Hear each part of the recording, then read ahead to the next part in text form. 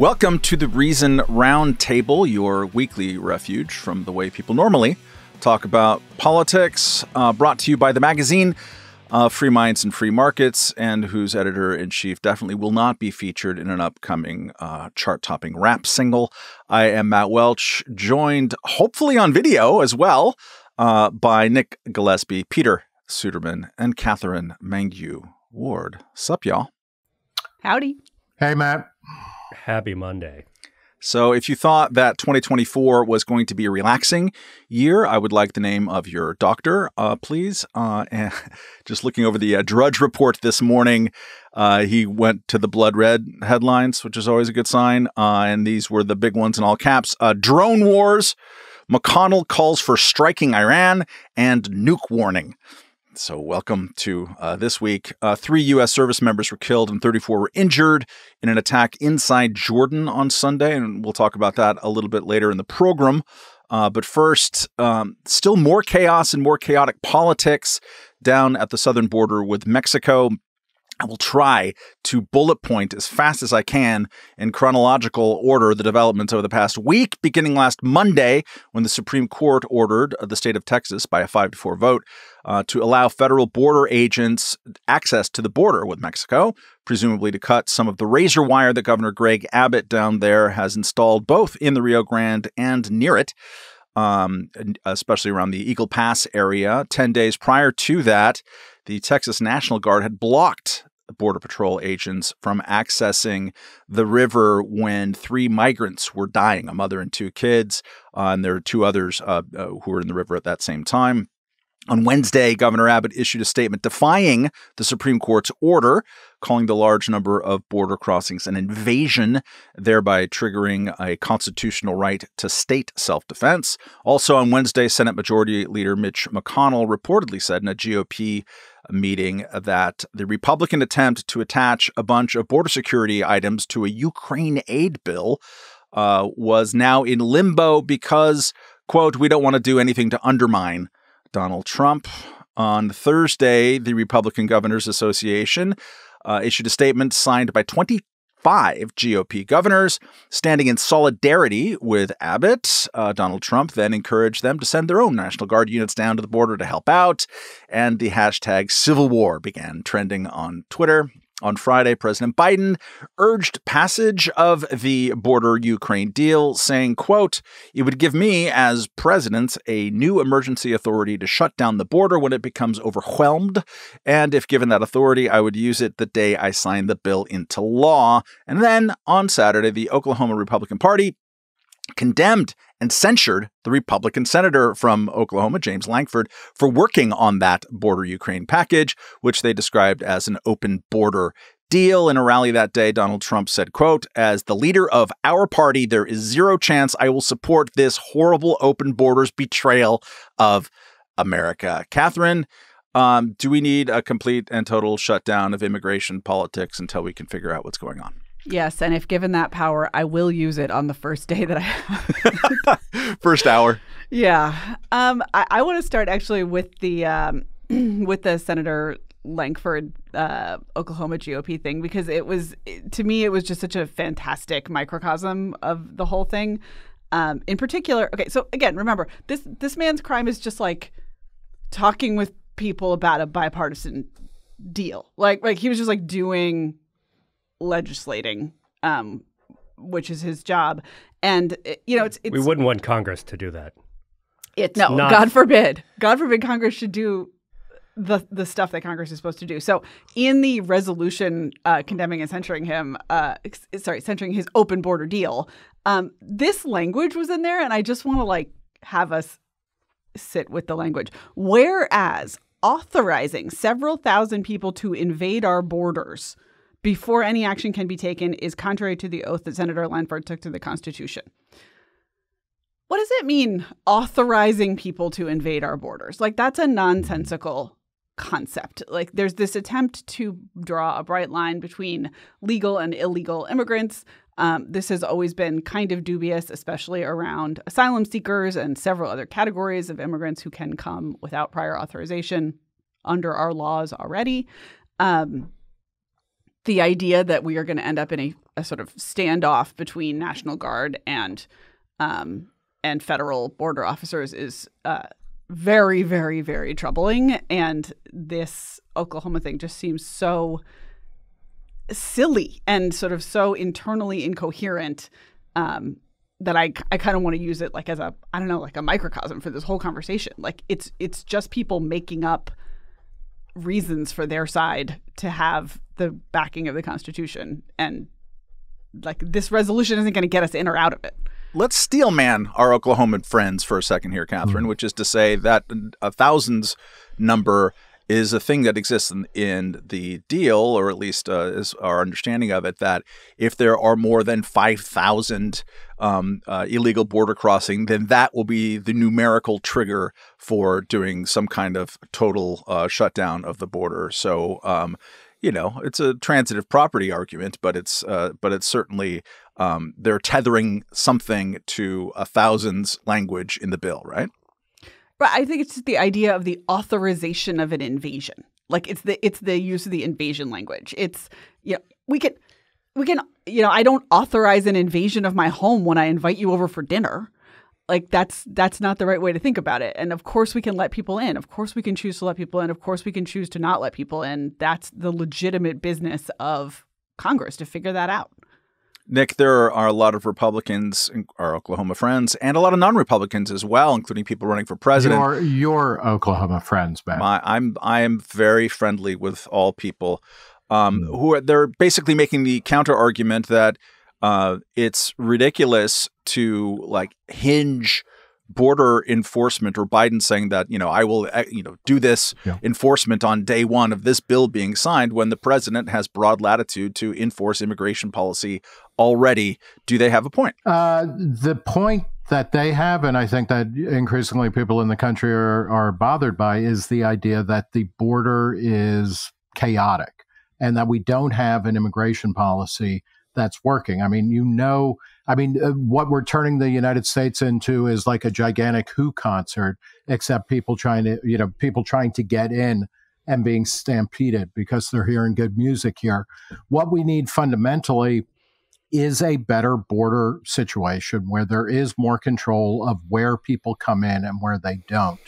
The solution to that is not by criminalizing more and more people and laying more and more barbed wire. It's by expanding the number of places where people can come in legally. And more importantly, and this is something that the Biden administration did pretty successfully, and it really needs, and then cap their own success on it. But we need to be doing more parole in countries where people are coming en masse, where uh, people who want to come here legally, whether it's from Mexico or Honduras or Ukraine, excuse me, or wherever, go to the embassies or the consulates in their country and actually work to get pre approved, where they have people who will bring them here and will sponsor them. Uh, typically, the parole or currently the parole term is for about two years. They come here, they are pre vetted, and they are uh, authorized to work. Um, doing that kind of stuff is going to alleviate uh, all kinds of problems on the border. But we need to, I think, fundamentally de-link what's going on in the border with larger immigration policy, which we have not done because, at least realistically, since George Bush got reelected and tried to do comprehensive immigration reform, we have stopped talking about that, and all of the focus is on what's going on on the border. Uh, and as long as we're doing that, we're in trouble as a country. Biden, I think, is rightly in trouble because he hasn't addressed this type of stuff. Trying to do it now uh, the Republicans, you know, have made clear, and this is disturbing, even if it's politically astute. Everybody, like every poll shows, more people are nervous about what's going on in the border because people keep seem to keep coming not through points of entry, but wherever. That's going to cause a lot of chaos. And uh, you know, like uh, CBS YouGov poll um, shows, seventy five percent of people think there's a crisis or it's very serious on the border that's up, you know, like 25 points from a couple months before that. You know, something needs to happen, but it's not going to happen through a political standoff like this, unfortunately. Peter, you're an astute uh, watcher of Mitch McConnell. What do you make of his intervention, his leaking, I presume, uh, last week, and what does that say about uh, your your sense of whether there's going to be a more likely or less likely chance that we will see uh, that border security bill and or Ukraine funding come out of all of this? I think so much of what we are seeing is election year posturing. That's true of the Oklahoma letter that um, Katherine referenced. It's also true of what's going on in Congress right now, where Congress was at least making some steps towards a bipartisan immigration deal. Not one that libertarians would necessarily support, but they were at least trying to do some legislating. And what Donald Trump has signaled to the Republican Party is he does not want them to do that for fear that it might work because the like he he what Donald Trump wants is for there to be chaos at the border so that he can run against Joe Biden on Biden, you're not controlling the border. What McConnell basically said last week was, yeah, we're going to let Donald Trump do that. Now, he has walked that back since and said, actually, we're going to try to proceed with a deal. But I do think that the way that that news cycle played out uh, makes it pretty clear that Republicans are very willing to let the border chaos continue because they view it as an electoral advantage. And it's really kind of telling. It's it's cynical and it's gross and it's awful that the party that is supposedly now in favor of border control actually seems to be at least in the short term, at least for the rest of 2024, basically uninterested in doing any sort of uh, real legislating on this issue because they believe that it is uh, that it will be politically advantageous to them in the presidential election coming up in November if things are bad at the border and people blame Joe Biden for it. And, but it is important to note that things are bad at the border yes, and they true. have continued to get bad. It's you know, there's no question the Republicans here are awful at the national level, probably at the state level, but there is, you know, we there is something that needs to be changed, um, and that's not happening at all. That's true, and this is a bipartisan failure, and both parties have played politics here. I mean, the Democratic position seems to be we want some sort of strict border laws to be in place, and also not to do any real legislating or ever enforce those laws. That's not a tenable position. No. But the Republican position is chaos is good for Donald Trump, and therefore we should probably let that chaos persist at least as long as Joe Biden is president so that we can pin it on him. Yeah. Katherine, um, speaking of untenability, uh, Cato's Alex uh, Nowrasteh, who's an immigration liberalizer, uh, had a pretty good uh, Twitter thread over the weekend um, contextualizing all of this stuff. And uh, even in the middle of that, he had this following thing that caught my eye quote the immigration court backlog is currently about 3.3 million. Those migrants are going to be waiting, working, and living in the United States for a long time, and many won't leave even if the court orders them to go. End quote. That's just crazy untenable, isn't it? I mean, not just as a as a kind of practical thing, but uh, certainly as a political thing. Yeah, I mean, Alex is basically always right about everything with respect to immigration. I I associate myself with him I can't think of a time that he's been wrong. So um, I think that you know his persistent efforts to point out what the status quo really is um, are really important. Like they're here, they're already here, and and that's again why I think this invasion language is so weird and so unhelpful. It's it's not it's not like this isn't a Mars attacks situation. It's not a Mars attack situation, and uh, you know the Martians are already among us, I guess, and it's fine. Um, it's more like Alien Nation, which was oh, itself uh, a, an extended sci-fi parable about immigration assimilation. Great movie with Mandy yeah. Patinkin. So, as with actual aliens, when when they come, we would be better off to welcome them, to talk with them, to have them uh, you know, to treat them with respect, uh, to not have them risk their lives to come here.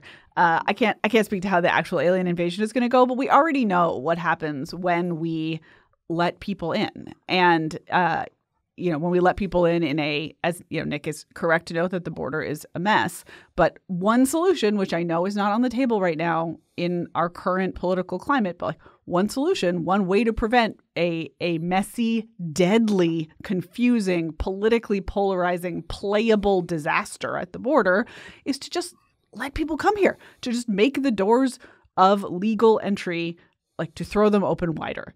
And it doesn't mean we have to let every single person come here, although I think maybe that would still be the way, honestly. But the vast majority of people once. who I don't mean, have communicable yeah, we, diseases if we and don't have y'all with have your criminal asterisks, histories, take your asterisks and leave. Like yeah. I, I, like I just think in the end, uh, if if we are looking for a solution to this truly horrible situation, both at the border and all these people who are living within the country who are being told at any time, you know, maybe your status will be revoked, maybe you will have to be thrown out maybe you'll have to choose between staying where your life is and going into hiding or going back to a place that you left for a reason.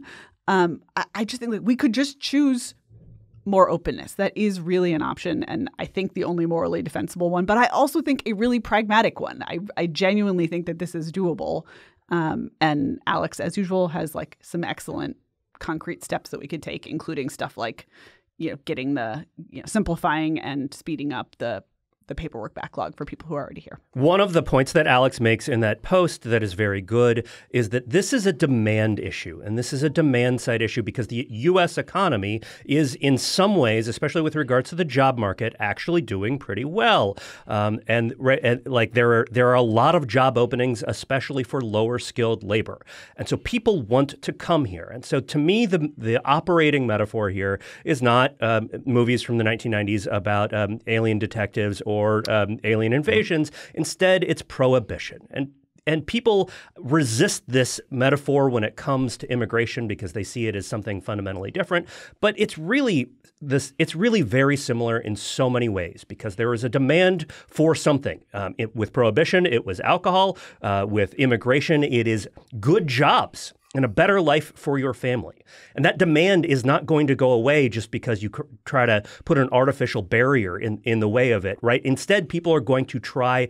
Um, they're going to try to get it through means that are more dangerous and more chaotic. And it's going to create a secondary market in violence and criminality. That is what happened in Prohibition, and it's what, what is happening with the border. And if you want to tamp down on crime, and if you want to uh, make it harder for, uh, for, for people, for gang members and violent people to come in uh, to cross the border, then what we need to do is we need to say people who are obviously peaceful and just want to come here and work and contribute to the economy, they can come in. And there's an easy and straightforward process for them to do that. And then we're going to focus our efforts on catching catching the actual bad guys who want to come over here and do bad stuff. It'd be nice to hear a president, you know, who has the bully pulpit really come out and say exactly that, that we're a nation of immigrants. Uh, and that everybody who wants to live and work peacefully is welcome here. It does cause disruption. We're going to meter it out so it's not, you know, like a billion people coming in the first year or anything like that, but we're going to expedite it right now, as much as anything, and this is true not just of immigration, but it's true of economics, it's true of foreign policy, we don't have a national meta narrative of like, what is America about? And as a result, you start to see uh, people knock off things. Uh, force Republicans to say that they don't want anybody new in the country because things are perfect the way they are. Force left wingers to admit that we cannot admit people and you know that not that this happens but it's the fear. You can't just bring in a lot of people who are immediately going to go on welfare rolls which by the way if we continue with current asylum policy if you bring people in and they can't work that's like fucked up beyond belief. Let people come here and live and work openly and honestly. They don't get welfare. They don't necessarily get citizenship, but they do get legal status and they're going to move into the parts of the country where there are opportunity and that will take care of all sorts of problems rather than cause any. But we we need to be talking about why immigration is important to the country not just in economic terms uh, but also in kind of national and identity terms. And we also need to talk about the the fears that people have where you know part of this is a larger anxiety that's throughout the country in all different ways about the future about how things are shifting radically out of the world that most of us grew up in and didn't like when we had it. We wanted it to change, but now we look back nostalgically as if, you know, the 1970s, uh, when immigration was very low, is somehow a good thing. I mean, fashion, yes, it was a great thing, the 1970s. And it's pretty good in music, underrepresented. Yeah. Uh, Prog uh, rock and bell bottoms, bring them back. Matt likes the collars. Elephant, elephant bottoms, bell bottoms, eh, yeah, elephant bottoms. Not enough. All right. As mentioned at the top, uh, Iranian backed militias killed three U.S. troops wounded 34 others in a drone strike on a military outpost in Jordan. Uh, on Sunday, President Joe Biden uh, tweeted firmly in response Have no doubt we will hold all those responsible to account at a time and in a manner of our choosing. Republican hawks, who apparently still exist as long as Lindsey Graham draws breath yeah. on this earth, uh, called for bombing Iran. Uh, Peter, you don't like oh, World uh, War III. Excuse me, Matt. He said, hit Iran now, hit them hard. Yeah, that's a Lindsey bomb. Graham. That's about I'm right. just saying that's, he's translating he is, that. He is signaling to Grindr something deep in his subconscious. That's I don't I'm know what you're doing, Mr. Gillespie, but I like it. Peter, uh, uh, you Joe don't like Biden also finishes every policy pronouncement by saying, "Oh, and I like ice cream. I like ice cream." Yeah. Uh, uh, time and place of our own choosing. I like ice cream. Come on, man. Uh, Peter, uh, you're scared about World War III all the time. Uh, how is a reluctant imperialist supposed to react when Iran keeps proxy warring us all the damn time? Yeah, it's a it's a tough question. I, I think one of the things that is interesting or that is worth thinking about here is, uh, according to reports this morning, the U.S. intelligence uh, military um, apparatus is doesn't still doesn't think that Iran actually wants to start a larger war. And that I think is is pretty important because if Iran wants to start a larger war with us, then they're probably going to be able to do it. Uh, it, right? Like if they just want to go ahead and say we're doing the big war, we're doing it now. Uh, it's happening whether you, whether or not you like it, then that's going to happen. And so what we want to do is have a, is uh, design some sort of response that is not going to trigger, that is not going to change that. It's not going to trigger a desire to start a larger war. That's not going to make them feel like, well, we're backed into a corner and it's a big war no matter what. Uh, so that's what we want to do. And I think the Republican bellicosity on this issue is so telling and so frustrating because they're not thinking about the consequences. They're not thinking about the downside risk of attacking inside Iran, which is what a bunch of Republican sitting members of Congress and the Senate are are saying right now. Um, you know, it's not just Lindsey Graham; it's John Cornyn. Target Tehran was his tweet. Uh, Senate Minority Leader uh, Mitch McConnell, to go back to him, right? Uh, serious crippling costs to Iran, not only on frontline terrorist proxies, but on their Iranian sponsors, blah blah blah, this sort of thing, right? It, and it is, it is a posture of.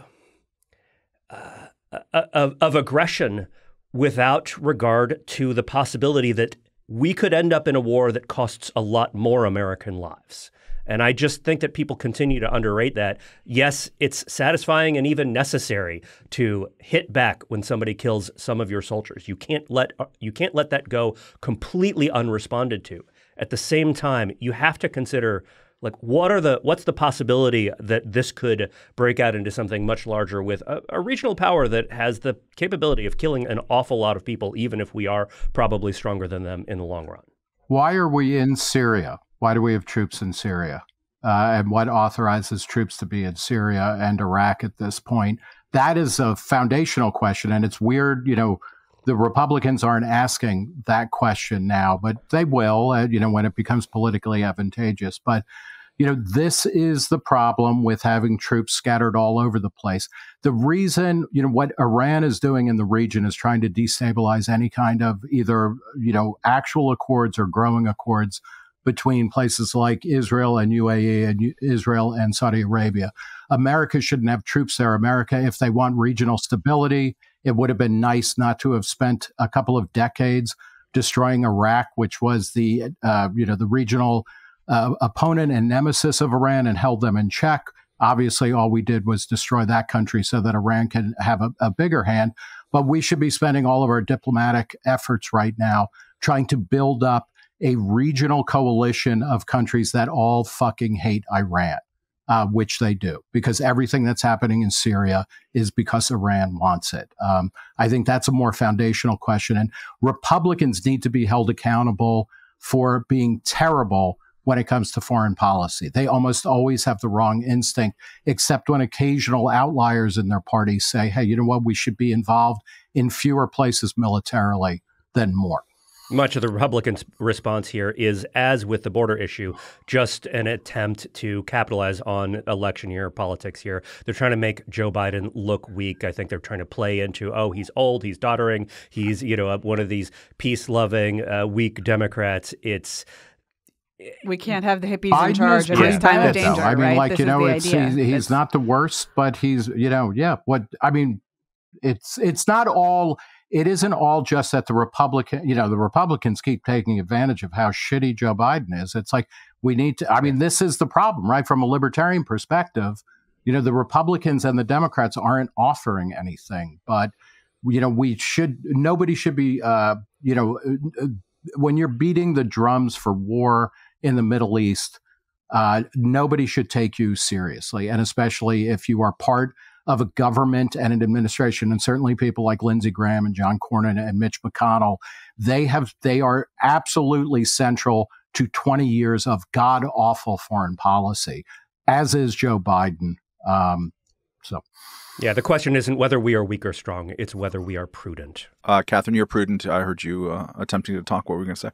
Uh, yeah, I mean, uh, I just wanted to throw one more quote in there, which was Tom Cotton, my personal yes. favorite hate figure, um, calling Joe Biden a coward, unworthy of being commander in chief, unless he brings devastating military retaliation against Iran's terrorist forces, both in Iran and across the Middle East. This is, you know, that piece of it is just largely the electioneering of it all, right? Like, hey, I'm trying to I'm trying to put an idea in the American people's minds of what Joe Biden is. He's a coward, and there it is. Um, but I, I think the flip side of this, and you know, Tom Cotton is is certainly um, he's you know he certainly partakes in this ideology, which is that um, courage and like you know danger and war are opportunities for virtue. I mean, this is I do think if we're I don't know if we're steel manning, but like there is this belief you know, on the part of some of the less stupid Republicans that um, maybe war would be good for this country. Maybe war is what we need. Maybe we are being cowards and having our little our little groups of Americans here and there. Um, you know, when Nick says, "Well, why are we there? Why are we in all these places?" At least one answer to that question is like we are looking for opportunities to bravely crusade for justice around the world, and we're going to take them when they come. And maybe this is it. Now, I think that's wrong. I think that's spectacularly wrongheaded. One clue that it's spectacularly wrongheaded is Tom Cotton believes it. Um, but I, you know, I I think that there is. It's sort of the same thing that we're talking about at the border. Like people are looking for an opportunity for a single, simple concept that we can use to make sense of a chaotic situation, and maybe a big war with a big enemy is what we need. I think that that idea is powerful. In fairness to Tom Cotton, he has been very consistent about wanting to uh, uh, overthrow the government in Iran since even before he was in the Senate. Hundred um, percent. He's not dumb. He's just super, super wrong. He's not inconsistent. He's not hypocritical. He's just wrong. All right, we're going to get to our uh, listener email of the week uh, here in a moment. But first, the world would be a better, freer, and happier place if constitutional protections for private property were taken more seriously. That's why our good friends over at the Institute for Justice have released a new season of their hit legal history podcast, Bound by Oath. Bound by Oath tells the story of how the Supreme Court has cleared the way for government officials to abuse property rights, to trespass on private land without a warrant, to restrict peaceful and productive uses of property, to seize and keep property without sufficient justification, and many more outrages featuring interviews not only with scholars and litigators, but also with the real life people behind some of the Supreme Court's most momentous property rights decisions. The new season explores the history behind today's civil rights battles. Please do look up Bound by Oath wherever you get your podcasts. That's Bound by Oath, Institute for Justice, IJ, property rights. Do it all today. You'll be glad you did. All right, reminder email your snappy queries to roundtable at reason.com. This one comes from Christian, who writes in part Hi Roundtable, Monday's discussion about Javier Milei got me thinking Are libertarians too obsessed with economic growth? As we all know, growing the economy means that there is, in theory, more prosperity to be shared with more people. This is great and everything. but shouldn't we also recognize that growing the economy sometimes comes at a cost? We know that biodiversity is increasingly under threat. A million animals and plants are threatened with extinction, some of them within decades. Is the current trajectory sustainable? If not, shouldn't we temper our enthusiasm for economic growth and make the case for growing more sustainably? After all, if economic growth is the one and only ultimate goal, what is stopping us from tearing down rainforests? What is the point of trying to preserve the commons, such as wildlife habitats? Why bother building so many parks and recreational areas when we can build more of the profitable stuff? In my view, libertarians should be better at recognizing that some things in life transcend the economic sphere. Katherine, how do you plead? I plead, uh, I guess, guilty. Um, I think uh, I am obsessed with economic growth. I think uh, there almost is no such thing as being too obsessed with economic growth. And I think it's because a um, complete understanding of growth contains all of these things that the letter writer wants us to think about and cherish and protect. That it turns out that when people are wealthier and have more choices, that they choose to do all this stuff. They choose to protect biodiversity. They choose to make parks. They choose to uh, make room for stuff beyond kind of straight up conventional profitable activity. Um, and conversely, that slightly slowing down. I mean, you know, this is what the sort of reasonable position, right? It's like, hey, you know, GDP ain't everything. Like we could just we could just let it go. You know, just maybe half a percent. We could just slow it down a little. Um, and we could have all these other things in exchange. I think, first of all, that exchange is often a false one. And second, even slowing down growth a little has massive, massive consequences in the long term. This is just the kind of compound interest theory of things um, that a little less growth now is is unconscionably less for future generations. And um, you know, I also think that many of the problems that he's describing, uh, they are they are consequences of growth. But I think that more more growth also holds the solutions. Like I, I don't think just because something was caused by a phase of economic development means the answer is less economic development. Sometimes it's still more. So, more growth forever and ever. Amen. Uh, Nick, how do you plead? I uh, would uh, point the reader uh, to various articles by Ron Bailey that first off talk about how the species extinction uh, estimates are almost all wildly overstated. Um, so, if the origin of this question comes from an empirical fact, we should go back to that and be more uh, cautious about what we're saying there. But beyond that, to to agree with what Katherine is talking about, you know, economic growth does not mean environmental despoilation by any stretch. Just as wealthy countries start to uh, preserve their heritage, the minute that they get to a point where they actually can have nostalgia for the past rather than running screaming from it, uh, you know, in, in the environmental world, this happens too. There's an environmental Kuznets curve. Once you reach a certain level of GDP, you start taking care of the planet in a much better way. Think about, uh, you know, the, the example that always used to come up was East Germany and West Germany. West Germany was a productive country. Uh, West Germany took much better care of its natural resources than East Germany because they could afford to. And with that higher level of economic growth, uh, comes a higher interest in and demand for environmental preservation. These things are not mutually exclusive in any way, shape, or form. And really, just to underscore Katherine's point, you know, when it, economic growth isn't something that you can fine tune. It's not, you know, it, it's not some kind of little, uh, uh, you know, uh, measure that you can change. You either have it or you don't. Um, and, uh, you know, if we think we can take it down from 3% to 2%, which would be awful, and is kind of what we've been doing, or taking it down from 2% to 1%, you don't want to live in that world. It's going to end up being poorer and dirtier. Peter, you're from Florida. Hasn't the the mania for growth ruined the Everglades or something? Surprise! It's an Everglades question. I, I, don't know. I've heard there's still a, a, bunch of cool alligators or something there. Is okay. hovercrafts if you want to take the tour. I've never done it.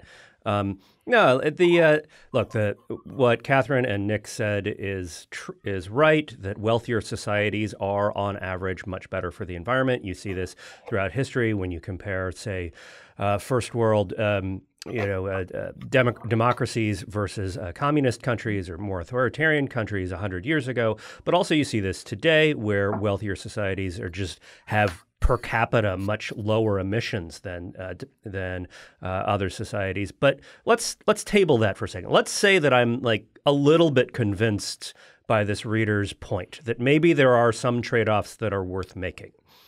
We're right now making too many trade-offs against growth. And I will I will take this point much better at the point that we have some sort of budget for those trade-offs. Because right now, what happens is everybody makes their case. Well, you know, we got to save the uh, the you know the three-footed toucan from the whatever or something, and like so that means we can't build this thing here. Okay, fine, the three-footed toucan. We're gonna that's going to be our cause for here. But then over here, we also got to save the 74 foot salamander that, like, there's only 12 of these left. And right, and okay, we're not going to build anything there. All right, wait, like, at some point, you have to make a, a, a, decision about how much growth you are willing to trade off. And if you look at all of the federal agencies, each of which has hundreds or thousands or tens of thousands of pages of rules, the vast majority of those rules are growth trade off rules. And no one has thought about them in, in, a sort of holistic budgetary way in the context of all the other rules. They just say, well, this rule is worth it. It costs us $100 million a year. It costs us a billion dollars a year in economic activity. And, and we need to be thinking about this in that holistic contextual way before we can start saying, well, we're going to say, okay, every now and then we'll make some trade-offs against uh, uh, that that are that limit growth. We're not doing that, and so until we get there, then I'm going to be pro-growth all the way. I would only add that the uh, you know, if we postulate that the um, more or less uh, elimination of extreme global poverty over the last 30 years is the single most important and underrated uh, news story. Uh, one of the uh, underrated news stories uh, uh, as well is that richer countries have been now for the past 10, 15 years um, doing less carbon emissions, getting cleaner, um, reforesting, not deforesting um, uh, and etc. Um, I can't speak specifically to um, uh, biodiversity, um, but uh, there is a cleanliness. The waters are cleaner, the air is cleaner um, with all these rich countries. That's where the trend line is going. And if you get to a certain level of richness, it starts to go. If you're going from from poor to industrializing, as China and India have been doing, while eliminating extreme poverty, uh, yes, you are going to add a lot of net uh, carbon and pollutants in the air, uh, and then people will start to get rich enough to be able to demand, like, "Hey, I don't want to breathe this shit." Um, so, um, something to think about. This is all a perfectly good uh, transition into mm-hmm. our next topic, um, which is uh, this. On Friday, President Joseph Robinette Biden, the uh, second, third, I forget, second, uh, issued mm-hmm. a temporary pause. He likes ice cream. I do uh, air quotes now that people can see in theory if we release this as video. Temporary pause on liquefied natural gas export terminal projects, at least until the Department of Energy can update the underlying analyses for authorizations. Uh, Biden says he's making this move because, and this is a real quote, while MAGA Republicans willfully deny the urgency of the climate crisis, condemning the American people to a dangerous future, my administration will not be complacent. End quote. We live in a stupid country. Uh, sorry, did I say that out loud? Uh, this election year move comes as American oil production, led by fracking and natural gas extraction, has reached all time highs, helping drive down the price of gas, which the White House has claimed total credit for, citing its environmental policies. Uh, Peter, uh, oh, I just want to ask the process question on this. Doesn't this seem like real bad process? Yeah, it's yeah. a bad process.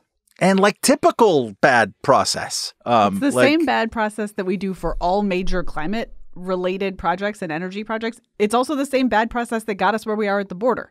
Like if you just temporarily say, this seems bad, I'll get back to you about everything.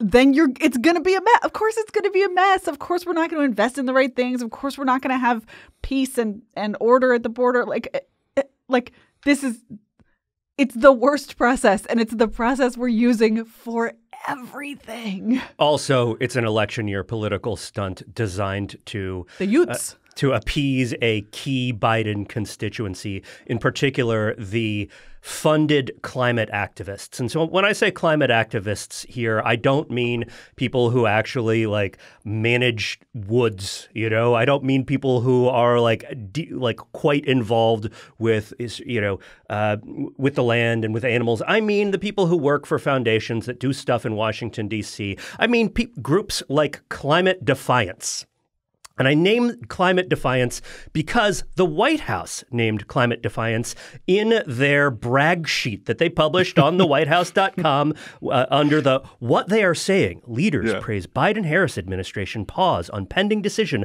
of liquefied natural gas exports. And so they published the good job note from this group, Climate Defiance, which tweeted this out. They were very proud of themselves. And they were like, Who are we? You don't know who we are, but we're Climate Defiance. And they defined themselves.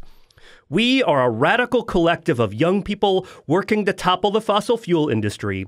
We've blockaded the White House Correspondents' Dinner, stopped play at the congressional softball game, and sent top presidential advisors fleeing. Follow along, right? So they're not even bragging about having any real impact. They're bragging about being obnoxious and annoying. Yeah. And I that's mean, the people that the Biden administration has set out to appease here. I really wish they had tried to glue themselves to Congress at the uh, softball game. It's easier to pepper know, spray. That would have been nice. Uh, there's also the role of the uh, TikToker Alex Haraus of Colorado. Um, you know, who, yeah, it's like if we're doing government by TikTok, we deserve what happens. Uh, you know, China wins this round, Matt Welch. Um, part of the problem here is that the Biden administration, then this goes back to something Peter was talking about, at almost every level of economic activity. And this is one of the reasons why Biden is a terrible president and why he has terrible disapproval, or, or he has high disapproval ratings and terrible approval ratings that rank up there with uh, Trump uh, at this stage in Trump's presidency, even before COVID hit. At every level, Biden is trying to squeeze down economic activity. If you talk to people, uh, you know, in uh, in business, they talk about how mergers and acquisitions every opportunity that Biden has to say no or to slow things down or to make you shimmy through a tighter and tighter hole to get out, of you know, out into freedom or something like that. Uh, Biden is doing this. It's it is a bad way to run a country. You you need economic freedom, uh, and you know when we're talking about something like liquefied natural gas, this is such a great thing to be happening. It's great for the environment. It's better than, you know, it's better than old, dirtier fu- fuels.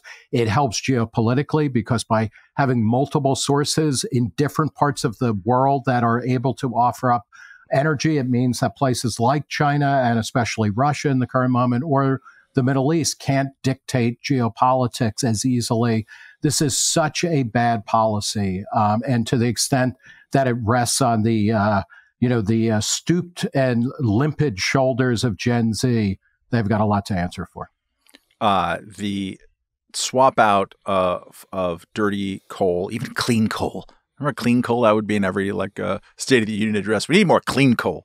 Uh, the swap out uh, via fracking of liquefied natural gas uh, has been the single biggest factor in reducing carbon emissions in this country. So when the brag sheet from the White House, uh, when the statements from the president lead with, that's why we're serious about. Cl-. No, that's why you're unserious about any of it. We've known this stuff for 15 years, and you're still pulling this in election years uh, as a cave to you know, these groups who actually they also need editors in this group, Peter, with a long list of things that they've done. They could have just shortened it like, we are assholes. Period. like just like get, get, straight to the point here, people. They're um, your favorite type of people, right? The the bridge blockers. Yeah, Matt loves a bridge blocker. I mean, it's also though like why why are we why are we soliciting blurbs on our policies like that's another question is like this is not like a new novel. And we're like oh let's get some other popular novelist to like say a nice thing about it and stick let's it on the, the Peter like, Travers quote. Yeah riveting this is not, oh, this is be, not yeah. the way. Unless Three and a it's half just stars. they're just they're just saying the quiet part loud just like we are doing this to appeal to young people in an election year. Thank you. Goodbye. Uh, all right we're gonna do a lightning round quick. Uh, can't let it pass that last week there was a new hampshire primary. Very exciting uh, in the Republican side, Donald Trump won 54% to 43% for Nikki Haley, despite the presence of a whole lot of independents voting for that and more Democrats than usual in the Democratic primary because it's open. Uh, and the Democratic side, Joe Biden got 64%, who was not on the ballot. Dean Phillips, who was, got 20. Marianne Williamson got four. I think Vermin Supreme came in like fifth, not quite fourth that I was hoping for uh, on the Democratic side. Uh, at, any rate, or maybe he was on the Republican side. I don't even remember anymore. Um, uh, let's go quickly, one takeaway each, beginning with Katherine. Nikki Haley is out there raising a ton of money right now, and I I'm just trying to figure out what she's going to do with it. Right? I mean, I know I know that she thinks she's still running, but as far as I can tell, nobody else does except for the people who are giving her millions of dollars. So it's confusing to me. Um, I will say the folks that are on the you know Axios had a report of her kind of fundraising sweep. The folks that are on the list of you know Republicans who are giving Nikki Haley money, they tend to be on the saner side of the Republican donor class, and and I I get that they're just still hoping that this is a fallback plan, a safety option. You know something will happen, and and she will be viable. Um, doesn't look like that to me.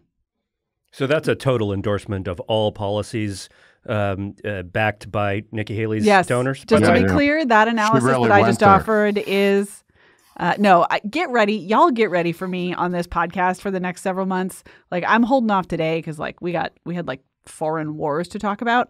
My none of the above animal spirits could have never been at a higher mark. Like none of the above. None of these people. Never. Just say no. I'm going to be the Nancy Reagan of politicians from now on. Well, I don't know what uh, RFK Jr. did to you, Katherine. Um, he's out there fighting for freedom. Uh, Nick, uh, one quick takeaway on the New Hampshire primary. Uh, you know, Trump is the Republican nominee, Biden is the Democratic nominee, and the country at large hates both of them. The country at large and me specifically. It is amazing. No, uh, but in polls, in poll, I mean, this is like you know, we thought 2016 was going to be the worst, and it's like it can always get worse. Uh, Peter. You know, after the ship crashes in Aliens, and Bill Paxton is just having like a lot of feelings, and he's just like, "That's it, man. Game over. Game over, man." That's my takeaway from New Hampshire.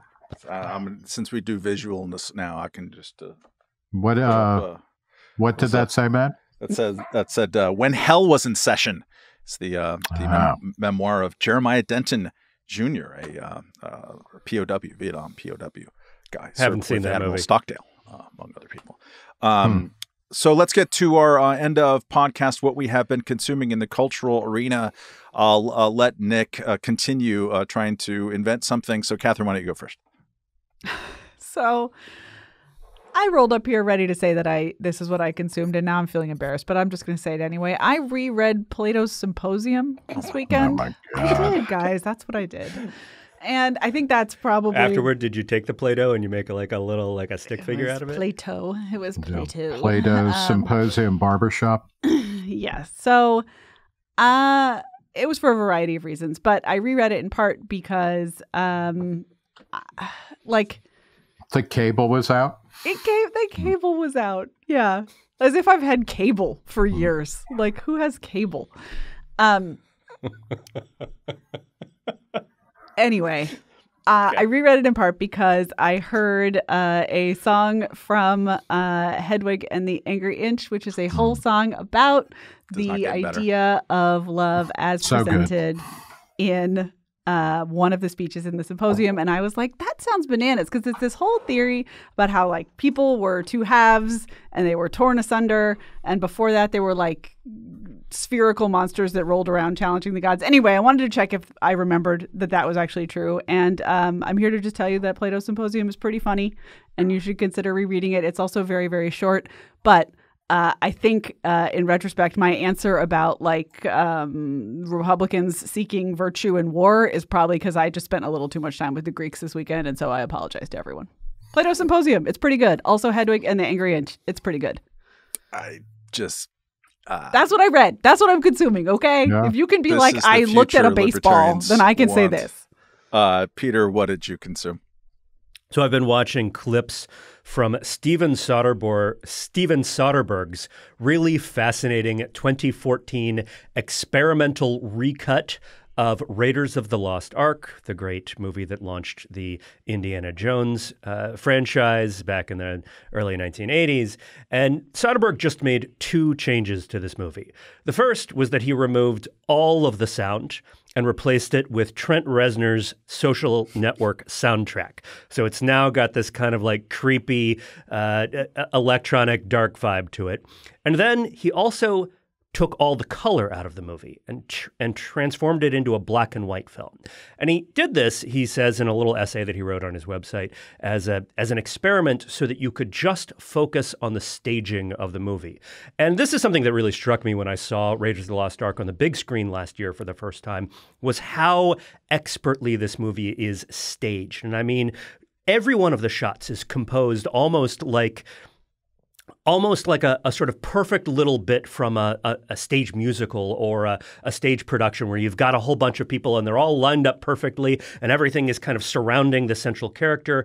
Uh, you have all of these fantastic silhouettes throughout the movie. I mean, it starts with one of the most iconic silhouettes ever put on film. That shot of Indiana, um, you know, sort of in uh, where you just see the outlines of him with his jacket and his hat. And you think about that silhouette and all of the elements, all of the sort of creative decisions that went into getting that shot. It's not just, oh, Steven Spielberg sort of wakes up on the morning they're going to shoot the opening of the movie and it's like, yeah, I guess we'll we'll shoot it like this. It's it's also the costuming department. It's the stance which with which uh, Harrison Ford is, you know, moving through the shot, right, and sort of holding himself and his body. It's the whip, it's the hat, it's all right. It's also Douglas Slocombe and his absolutely incredible photography. I mean, just uh, just so artful and so cinematic. And what this what this Soderbergh cut does is it puts all of the all of the staging decisions, all of the editing decisions, all of the visual language of the movie into sharp relief. It allows you to focus on it better without thinking so much about the story. And you see just how beautiful the film is, how uh, how iconic all of these shots are, but also you also see how easy it is to just follow every, all of the action.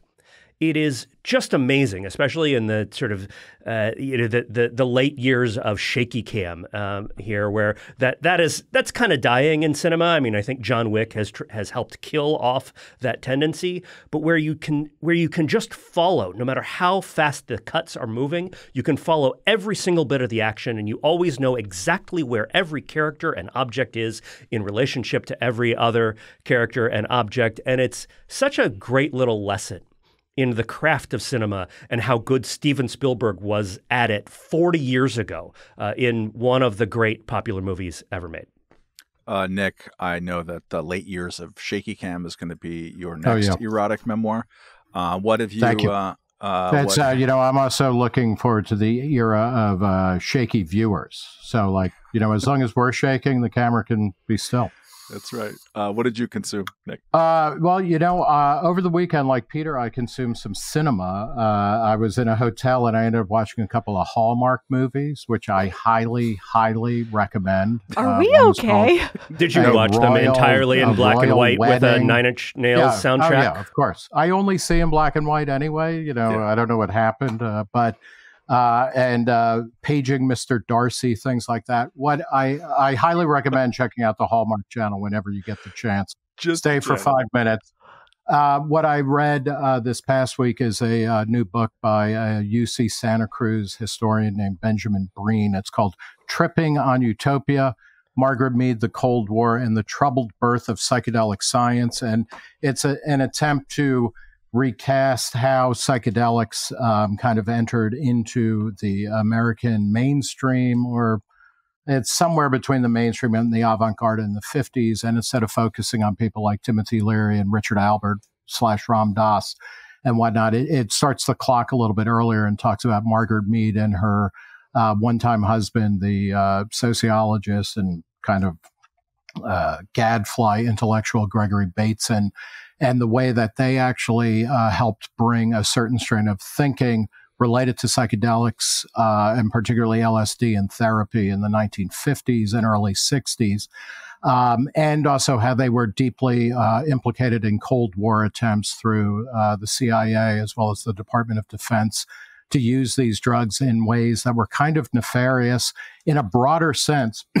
Excuse me, if you're interested in the history of post war intellectual uh, and commercial developments, this ties into a number of critiques and analysis that point at, uh, point to the way that defense spending really underwrote a massive amount of Silicon Valley development in California's economy. Certainly, a lot of the things that made America the country of the future, but also culturally, uh, in terms of things like Encounter magazine and a wide variety of different cultural activities that places like the CIA underwrote. Um, so it's it's very interesting in that way. If you're interested in psychedelic history, this is a, an absolute must read.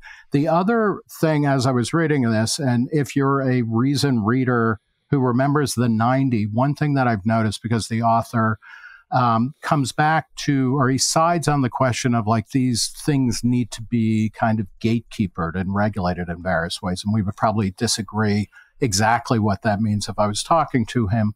But I've noticed many of the arguments that we thought were kind of absolutely won in the 90s. And this includes things like, well, you know, immigration, more immigration is better than less immigration, more free trade is better than less free trade, more individual choice in the technologies of living uh, and technologies of the self that we use are better um, those are being attacked or rethought and reformulated. And so, you know, Hayek somewhere, and I'll mangle it, said, you know, that every generation needs to recast the arguments for freedom in new and urgent terms. And it's, you know, fascinating to me to see how many things that seem to have been won, many intellectual and cultural arguments in the in the 90s are actually coming back where people are saying, you know what, maybe individuals can't handle the range of choice and the depth of choice they have, whether we're talking about social media or uh, you know literature and culture or drugs. Um, so I recommend reading "Tripping on Utopia," Margaret Mead, "The Cold War," and the troubled birth of psychedelic science, but also uh, reading it critically while the Hallmark Channel is blaring in your hotel. Oh room. yeah, that uncritically. Uh, the Hallmark Channel. No, uh, well, you know what? When you see genre uh, kind of work, uh, it helps you understand why artistic forms are better or worse. Uh, pursuant to that last uh, point about individual freedom and stuff, I just saw I, that referenced on Twitter a new poll showing that comparing. Um, uh, people who graduated, like Katherine Mangu Ward from uh, uh, uh Ivy League schools, answer to the question of Do you think America mm-hmm. has too much freedom compared to non um, Ivy League school grads? And it's oh. amazing. It's like 54%. Yep, too much freedom here at old Please Ron DeSantis. Share the link. Yeah, for that. I'm um, sure it's uh, I'm sure it's uh, top top quality public policy research. Uh, my what you have been uh, consuming uh, last week. Uh, Melanie, the singer songwriter chanteuse ingenue from the late '60s and early '70s, who performed at Woodstock. You might remember her for the semi novelty hit single "Brand New Key." Oh man, she had a pair of brand new roller skates, and you mm-hmm. Had the brand new key. Uh, there was no suggestive material uh, or uh, subtext there. Um, anyway, she died after uh, leading a, a, rich and interesting life. Uh, I went down, as one does, uh, the rabbit holes of Wikipedia and of Spotify, and listened to a bunch of her stuff. I was fortunate enough to have a friend who covered idiosyncratic Melanie uh, songs over the years, including uh, Is She As Pretty As Me, which is one of the weirdest songs you'll ever hear. Um, but this all led me uh, to, um, I re led me, let's say, to uh, Miley Cyrus's Backyard Sessions, which she did. I think most of it was during COVID, um, uh, because because you could still like go backyard back then, and it was the lockdowns. Uh, she had really nice big microphone and some good musicians, and they did a lot of really great, mostly covers of things. And she does a cover uh, duet with Melanie, um, who was still alive back then and was still in fantastic voice, uh, just gravelly but elastic and big and strong and weird. And uh, and Miley Cyrus, who's a, a, phenomenal singer, I think, and and a very generous uh, artist, uh, like honoring uh, those who went before. She's very much like uh, Dave Grohl in that respect. Um, it's a really terrific cover of "Look What They've Done to My Song, Ma," which is a great, weird little song from Melody. So if you're starting down your Melanie journey, I would begin with the Miley Cyrus uh, Backyard Sessions mashup with Melanie and then uh, go forth after that. And fun fact about Melanie, she described herself as a libertarian.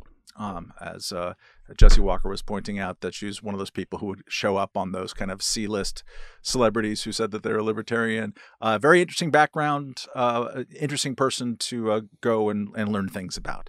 Um, uh, and that's the end of uh, uh, that tune. Uh, we are now uh, wrapping up this podcast, The Reason Roundtable. Thank you for listening to it. Uh, we have a lot of events over time, but I understand, Katherine, that this coming weekend, Reason is taking a pretty active role at LibertyCon in Washington, D.C. Do you wish to speak to that? We sure are. There are going to be quite a few Reason staffers participating in um, Students for Liberty's annual conference, LibertyCon. And um, full disclosure, I am on the board of Students for Liberty because I think it's a really cool organization that helps uh, bring the freedom to the youths and help the youths bring the freedom to the world. Um, I guess not the Ivy League youths who think that mm-hmm. everyone has too much freedom, but um, more like the um, like the the youths in Argentina, let's say. Um, the conference is pretty fun. And uh, I think it will feature Nick interviewing Justin Amash. I've got a panel. Stephanie Slade's going to be talking about the Game of Thrones. Uh, there's just like a whole bunch of stuff going on. So um, if you are in DC or if you can be in DC and you want to come, I think there are still tickets and um, it's a good time. Other events that we are having in the future can be found at reason.com slash events. Are there podcasts? At reason.com podcast. Katherine, do our newsletters now get catched at reason.com newsletters, I hope? We do so, have, if you go to reason.com newsletters, you can sign up for quite a few newsletters. We've got some new ones. We've got an Elizabeth Nolan Brown newsletter on sex and tech. We've got a Robby Soave newsletter on the media and censorship and stuff and stuff. We, of course, have Christian Britschgi's newsletter on uh, housing, zoning, urban policy, and the like plus our OGs, the Reason Roundup, uh, and uh, Reason Daily, Reason Alerts, all kinds of good stuff. Um, we can be very much up in your inbox should you desire it. So, Language. reason.com slash newsletters, sign up for what you want. Literally an invasion of your inbox? Yeah. Like if you sign up for a newsletter, is that an invasion of your inbox? I guess so. Um, all right. Well, be careful out there, uh, and we will catch you next week. Goodbye.